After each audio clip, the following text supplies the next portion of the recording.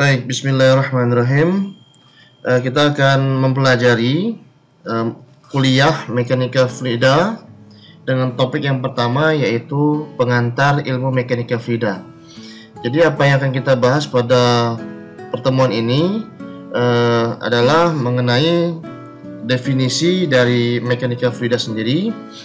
Kemudian juga kita akan membahas mengenai tokoh-tokoh yang berperan dalam perkembangan maupun sejarah dari ilmu mekanika fluida dan beberapa ketentuan yang perlu kita uh, pahami bersama khususnya nanti pada saat aplikasinya untuk dalam pertemuan pertemuan yang selanjutnya. Mekanika fluida sendiri didefinisikan sebagai cabang ilmu tentang pengaruh gaya pada suatu objek baik dalam keadaan diam maupun bergerak. Nah, ini kalau kita melihat uh, di sini ada dua kata kunci yaitu uh, dalam keadaan diam maupun bergerak. Maka uh, biasanya dalam keadaan diam ini diistilahkan sebagai cabang ilmu dari mekanika fluida yaitu statika. Sedangkan untuk yang bergerak ini cabang yang kedua yaitu dinamika. Nah, adapun fluida sendiri didefinisikan sebagai zat cair maupun gas dan juga termasuk air. Sehingga tidak hanya air yang dimaksud dengan fluida bisa juga berupa oli misalnya minyak termasuk juga uh, udara. Itu juga bagian dari atau bentuk dari fluida namun untuk uh, teknik sipil kita lebih banyak membicarakan fluida yang dimaksud di sini adalah air. Nah dengan demikian Definisi dari mekanika fluida adalah cabang ilmu teknik yang mempelajari perilaku fluida baik dalam keadaan diam atau statis maupun bergerak atau dinamis. Nah, kemudian di samping mekanika fluida ada bagian cabang ilmu yang lebih khusus lagi yaitu membahas khusus masalah air saja yang ini kemudian disebut sebagai namanya hidrolika. Di mana hidrolika ini dibagi menjadi dua yaitu hidrostatika yaitu mempelajari bagaimana eh, perilaku air dalam kondisi diam dan juga hidrodinamika yang mempelajari perilaku air dalam kondisi yang bergerak. Nah, kalau kita lihat di sini sebelah kanan ini ada gambar dari apa namanya uh, contoh dari fluida ya.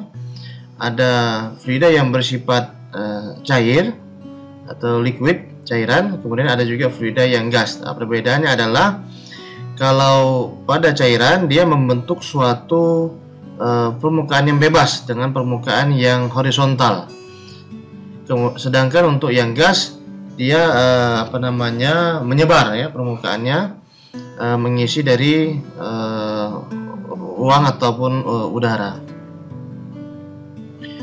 Adapun peranan dari mekanika fluida dalam teknik sipil umumnya adalah digunakan untuk penyediaan air bersih ataupun air minum. Misalnya contohnya dalam uh, sistem distribusi air bersih uh, PDAM ataupun sistem uh, pengolahan air bersih itu sendiri. Di sini kita banyak menggunakan ilmu mekanika fluida dan hidrolika bagaimana kita menghitung kecepatan aliran dan debit yang digunakan dalam uh, apa namanya pendistribusian air bersih tersebut. Kemudian juga mekanika fluida digunakan dalam uh, bidang sanitasi dan juga limbah, terutama limbah cair di sini.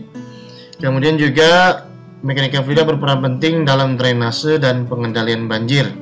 Jadi bagaimana hujan yang jatuh di permukaan tanah kemudian masuk ke dalam saluran-saluran. Nah, kemudian di sini kita menghitung misalnya atau mendesain ukuran atau dimensi saluran tadi agar air yang mengalir dalam saluran tersebut akibat hujan tadi tidak sampai melimpah. Di sini peranan mekanika fluida itu berperan penting dalam uh, drainase dan pengendalian banjir. Kemudian juga untuk irigasi dan bangunan air, ini juga sebenarnya hampir sama dengan drainase. Hanya saja untuk irigasi ini uh, fungsinya sebagai uh, suplai air kepada eh, petak-petak uh, sawah atau lahan untuk uh, apa namanya irigasi. Kemudian juga mekanika fluida digunakan atau berperan penting untuk bidang transportasi dan pelabuhan. Sebagai contoh, misalnya dalam menganalisis uh, apa namanya pengaruh dari sedimentasi di sungai ataupun di saluran terhadap uh, pelayaran dari kapal di suat di sungai misalnya untuk pengangkutan uh, misalnya bahan-bahan seperti batu bara ataupun yang lainnya maka di sini kita perlu memperhatikan kedalaman draft dari kapal itu sendiri. Nah, pada saat kedalaman kapal dari uh, kedalaman draft dari kapal tadi itu melebihi dari kedalaman saluran, di mana saluran tersebut uh, kedalamannya menjadi berkurang akibat adanya uh, sedimentasi, maka di sini kapal tidak akan bisa melalui uh, saluran ataupun sungai tersebut. Maka di sini kita perlu mempelajari eh, apa namanya bagaimana gaya apung dan juga berat dari suatu kapal sehingga kita bisa menentukan kedalaman draft yang diperbolehkan untuk eh, melalui suatu sungai ataupun saluran. Kemudian juga ilmu mekanika fluida berperan penting dalam pembangkit listrik. Nah ini tentu saja eh, digunakan sebagai pembangkit listrik tenaga air yang itu merupakan salah satu bentuk dari eh, pembangkitan listrik dari energi yang terbarukan yaitu menggunakan sumber energinya adalah air. Dan juga eh, dalam beberapa peranan lain juga ilmu mekanika fluida berperan penting. Tapi di sini yang paling utama dan sering digunakan dalam ilmu teknik sipil di antaranya adalah penyediaan air bersih, sanitasi dan limbah, drainase dan pengendalian banjir, irigasi dan bangunan air, transportasi dan pelabuhan, dan juga pembangkitan listrik. Nah, ilmu mekanika fluida sebetulnya sudah berkembang sudah sejak lama dan sejarah mencatat pertama kali uh, ilmu mekanika fluida dikemukakan oleh Archimedes pada tahun 287 sampai dengan 212 sebelum Masehi di mana Archimedes ini menemukan hukum dari benda terapung yang kita sebut sebagai namanya buoyancy. Kemudian Leonardo da Vinci juga uh, menemukan aliran air di saluran terbuka, gerak relatif fluida dan benda yang terendam dalam air, gelombang, pompa hidrolik dan sebagainya. Kemudian dilanjutkan juga dengan Simon Stevin, ilmu hidrostatika ataupun gaya akibat zat cair pada bidang yang terendam. Kemudian juga ada Galileo dengan penemuan dari hukum benda jatuh dalam zat cair dan juga dilanjutkan dengan Evangelista Torricelli yaitu kecepatan aliran melalui lubang ataupun peluap dan juga Edme Marriott, Marriott itu menemukan eksperimen dari nilai koefisien David pada lubang. Jadi sebetulnya di sini sejarah ilmu mekanika fluida memang awal-awalnya itu dikembangkan atau banyak berkembang di negara Eropa. Ini contoh dari uh, ilustrasi dari perkembangan ilmu mekanika fluida. Pertama di sini kita bisa melihat ada Archimedes yang menemukan bagaimana hukum benda terapung. Di sini dia menemu, uh, apa namanya mengemukakan pernyataan bahwa any object when immersed in, liquid will displace a volume of liquid equal to the object's own volume. Artinya di sini bahwa ketika suatu objek itu ditenggelamkan atau dimasukkan uh, ke dalam suatu cairan ataupun air, maka objek tersebut akan menggantikan air dengan volume yang sama dengan volume air yang digantikan tadi itu. Ini arti Archimedes. Kemudian dari sana kemudian dilanjutkan dikembangkan dengan uh, penentuan dari uh, besaran gaya apung yang dialami dari suatu uh, benda yang mengapung di atas permukaan air. Kemudian pada bagian sebelah kanannya di sini ada ilustrasi dari Eh, Leonardo da Vinci yang menemukan distribusi kecepatan aliran di saluran terbuka di mana pada saat itu dia menggunakan melakukan eksperimen dengan menggunakan suatu pelampung yang terbuat dari uh, kantung kemih dari hewan ini kita sebut sebagai namanya blader di sini. Kemudian uh, diikatkan pada tali dan di bawahnya dikasih pemberat uh, dengan kerikil ataupun batu Kemudian pada saat itu dialirkan, dimasukkan ke dalam air, maka dia akan mengalir sesuai dengan arah aliran. Dan Archimedes mengikuti uh, perjalanan dari pelampung tadi itu. Maka di sini dia menemukan bahwa adanya perbedaan uh, kecepatan aliran uh, di pinggir dan di tengah saluran. Di sini ada distribusi kecepatan. Kemudian Robert Hooke menemukan anemometer dan baling-baling yang kemudian selanjutnya digunakan untuk pengembangan baling-baling kapal. Kemudian juga ada Antoine Perrin dengan penemuan kincir air dan hubungan antara kecepatan roda dengan kecepatan air untuk memperoleh rendemen maksimal. Kemudian juga ada Varignon uh, yang menemukan pembuktian teoritis teori Torricelli untuk aliran melalui lubang. Kemudian juga ada Blaise Pascal yang terkenal dengan penemuan dari uh, tekanan hidrostatis dan juga ada Isaac Newton yang menemukan hukum aliran fluida viskos di mana di sini fungsi dari tegangan geser terhadap kecepatan dari suatu fluida. Adapun Bernoulli menemukan hukum kekalahan energi dan kehilangan energi selama pengaliran yang kemudian disebut dengan nanti ada persamaan energi Bernoulli. Kemudian ada juga di Alembert dan Clairaut yang disempurnakan oleh Leonard Euler yang menemukan dasar ilmu hidrodinamika atau aliran fluida ideal. Kemudian juga ada Louis Navier dan George Stokes yang menemukan penyempurnaan persamaan Euler menjadi persamaan gerak fluida viskos. Kemudian juga ada George Airy kemudian yang menemukan persamaan gelombang amplitudo kecil. Kemudian juga ada Hermann von Helmholtz itu menemukan aliran vortex, garis arus, analisis dimensi dan sebagainya. Kemudian masih uh, perkembangan mechanical fluida juga semak, uh, semak, semak, apa namanya masih didominasi di penemuan oleh ahli-ahli dari negara Eropa. Ini kemudian selanjutnya ditemukan oleh Lord Kelvin dengan hukum termodinamika. Kemudian juga ada Lord Rayleigh itu adalah prinsip-prinsip kesebangunan dan analisis dimensi. Kemudian juga ada Henry Pitot dengan alat ukur kecepatan aliran zat cair ataupun yang kita kenal sebagai namanya tabung Pitot. Kemudian ada lagi Antoine Chesi yang menemukan tahanan hidrolik ataupun persamaan kecepatan aliran Chesi di saluran terbuka. Kemudian ada lagi Jean Borda yang menemukan aliran melalui lubang dan faktor 2G atau dua kali gravitasi dalam rumus hidrolika. Kemudian lagi Jean Baptiste Belanger yang menemukan uh, garis pembendungan ataupun backwater. Ada juga Benoit Fourneron yang menemukan pengembangan uh, turbin hidrolik. Ada lagi Gaspar de Coriolis yang menemukan dis, uh, distribusi kecepatan aliran. Ini mungkin pengembangan dari Leonardo da Vinci tadi. Kemudian juga ada Jean Louis Poiseuille yang menemukan persamaan aliran laminer khususnya adalah uh, tahanan gesek uh, pada aliran laminer dalam suatu aliran pipa. Dan juga ada Bert de Saint-Venant yang menemukan gerak gelombang di saluran terbuka yang terkenal dengan rumus Saint-Venant.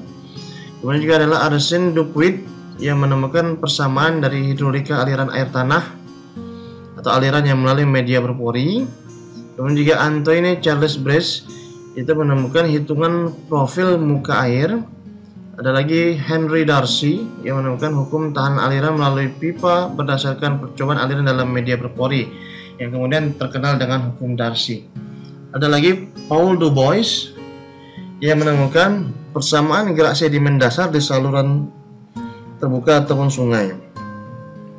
Dan juga ada Henry Emil Bezin yang terkenal dengan persamaan dari distribusi kecepatan arah transversal dan koefisien kekasaran dinding saluran. Ini contoh atau ilmu ilustrasi dari pengembangan hukum Nah, aliran air tanah yang kemudian selanjutnya dikenal dengan hukum Darcy di mana Henry Darcy melakukan percobaan terhadap uh, suatu media tabung berpori yang diisi dengan pasir yang kemudian dialirkan di sini. Ini tabung pasirnya di sini. Kemudian dialirkan kemudian nanti akan keluar di pada keran di bawah sini. Kemudian volume per satu waktunya dihitung Eh, sebagai debit yang keluar di sini dan kemudian dibandingkan terhadap penurunan tinggi tekanan sini atau delta H di sini. Nah, kemudian Henry Darcy menemukan bahwa eh, debit aliran yang melalui media berpori itu adalah berbanding lurus dengan uh, perubahan ataupun gradien uh, tekanan di sini atau delta H di sini. Kemudian juga ada Emil Oscar Ganglit dan Wilhelm Rudolf Carter ini menemukan rumus tahan aliran Gangwil Gangwil Carter kemudian juga ada Philip Jasper Gauckler ya, dan Robert Manning yang menemukan uh, rumus tahanan aliran akibat uh, gesekan uh, dengan dinding saluran ada lagi Giovanni Venturi yang menemukan pengaruh perubahan penampang pipa dan saluran terhadap tegangan dan profil aliran. Kemudian dilanjutkan juga dengan Osborne Reynolds yang menemukan model fisik gerak sedimen dasar, masalah kavitasi dan kondisi aliran laminar, turbulen dan transisi yang kemudian dikenal sebagai angka Reynolds ataupun Reynolds number. Kemudian lagi adalah Ludwig Pound yaitu yang menemukan gabungan teori hidrodinamik dan hidrolika eksperimen menjadi ilmu mekanika fluida kemudian terkenal dengan konsep lapis batas yaitu adalah batas aliran laminar dan turbulen yang terjadi pada suatu pengaliran di dalam uh, saluran. Ini ilustrasi dari percobaan yang dilakukan oleh Osborne Reynolds bahwa dia di sini menggunakan suatu alat uji di mana alat uji tersebut ada saluran yang kemudian terbuat dari kaca kemudian disuntikan dengan tinta kemudian diamati bagaimana visualisasi alirannya untuk berbagai jenis uh, aliran yang dipengaruhi oleh kecepatan alirannya dari uh, aliran dalam pipa tersebut. Nah, pada saat uh, alirannya laminer di sini uh, Osman Reynolds menemukan bahwa eh, visualisasi dari uh, tinta tadi itu menunjukkan bahwa aliran bergerak dalam suatu uh, lintasan yang lurus seperti ini. Artinya dia menunjukkan bahwa alirannya laminar dan lintasan yang lurus sehingga uh, viskositas dari fluida itu masih mampu meredam uh, gangguan akibat kecepatan aliran tadi. Sedangkan ketika uh, kecepatan aliran ditingkatkan, maka mulai terjadi gangguan sehingga lintasan dari tinta ataupun aliran-aliran tadi sudah bergerak secara tidak teratur yang kemudian dikenal dengan uh, aliran turbulen. Di sini apa namanya uh, percobaan yang dilakukan Osborne Reynolds. Kemudian ada juga Paul Henrich Blasius yang menemukan aliran melalui pipa halus dan mengusulkan hubungan antara koefisien gesekan dengan angka Reynolds Kemudian ada Johann Nikuratse yang menemukan aliran melalui pipa kasar. Ada lagi Buckingham yang menemukan teknik analisis dimensi dan kesebangunan. Ada juga Boris Alexandrovich Bakhmetev yang menemukan aliran melalui saluran terbuka. Ada juga Kulegan eh, yang menemukan persamaan dari gerak gelombang tahanan pada aliran melalui pipa dan saluran terbuka dan juga aliran dengan perbedaan massa jenis. Kemudian uh, dalam ilmu mekanika fluida kita tidak terlepas dari yang namanya hukum Newton. Di sini kita akan lebih uh, banyak menggunakan nanti hukum Newton kedua.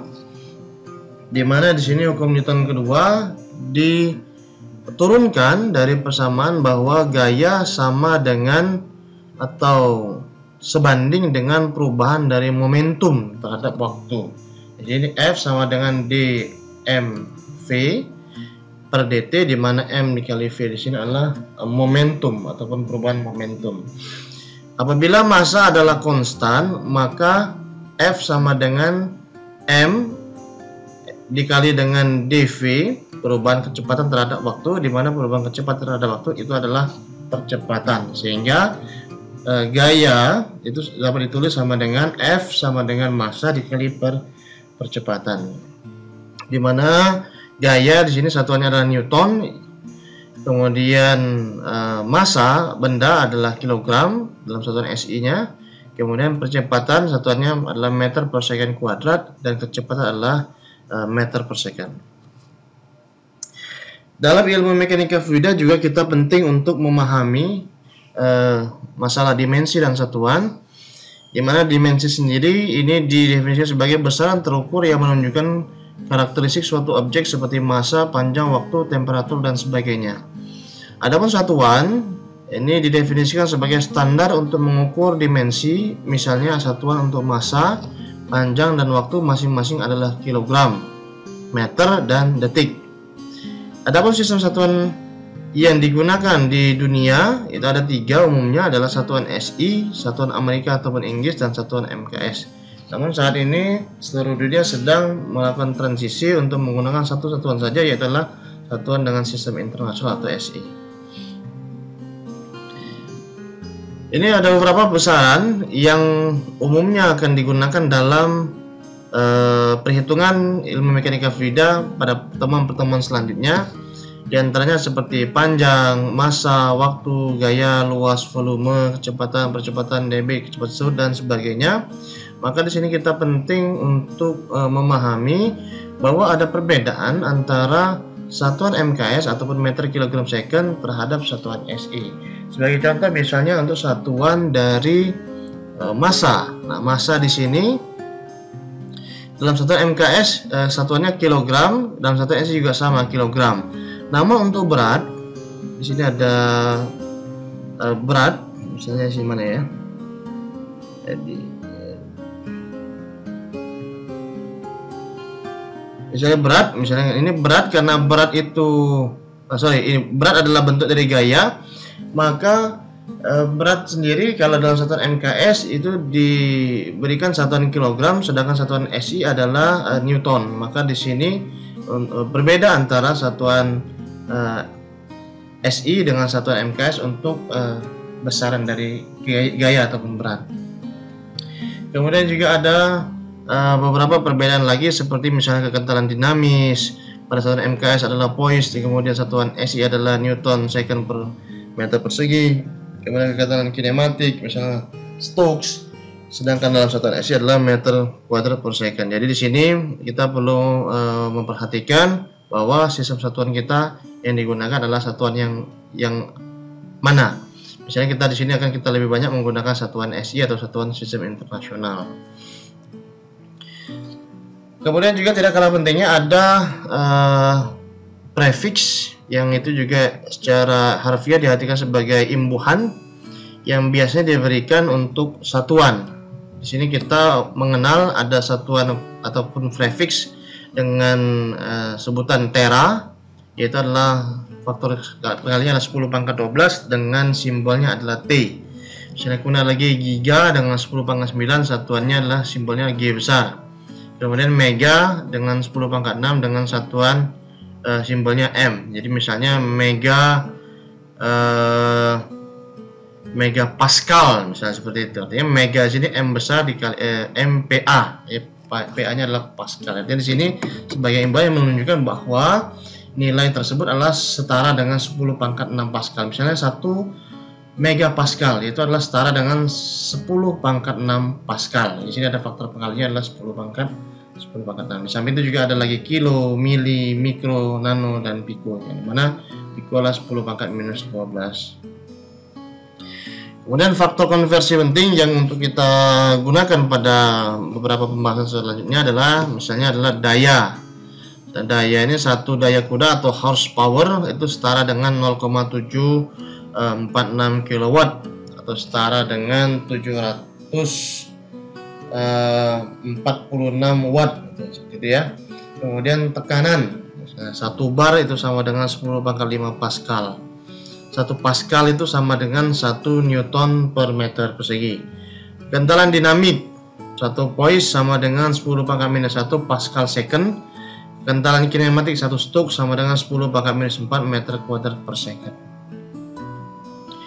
Kemudian dalam ilmu mekanika fluida ini eh, kadang-kadang uh, sering dilupakan dalam uh, aturan penulisan untuk uh, nilai dari suatu besaran.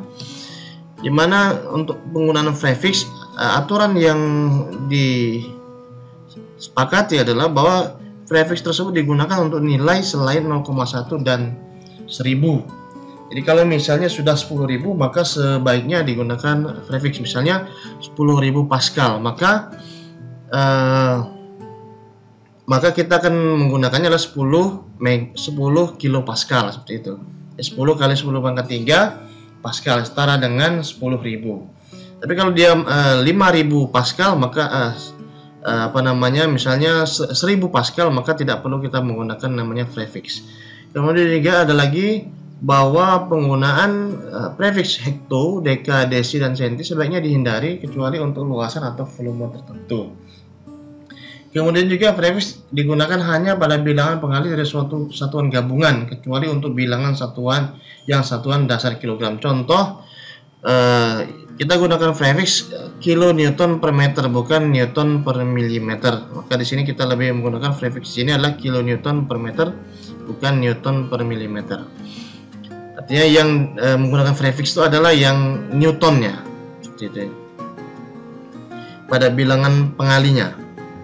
Kemudian juga untuk penulisan satuan, maka satu di sini digunakan titik eh, digunakan titik untuk perkalian satuan. Contoh untuk momen misalnya Newton meter bukan nm. Jadi Newton ada dot di sini tengah-tengahnya meter yang menunjukkan perkalian eh, dari eh, gaya dan jarak yang menunjukkan adalah momen. Jadi untuk agar tidak terjadi eh, ambigu ambiguitas ambiguitas.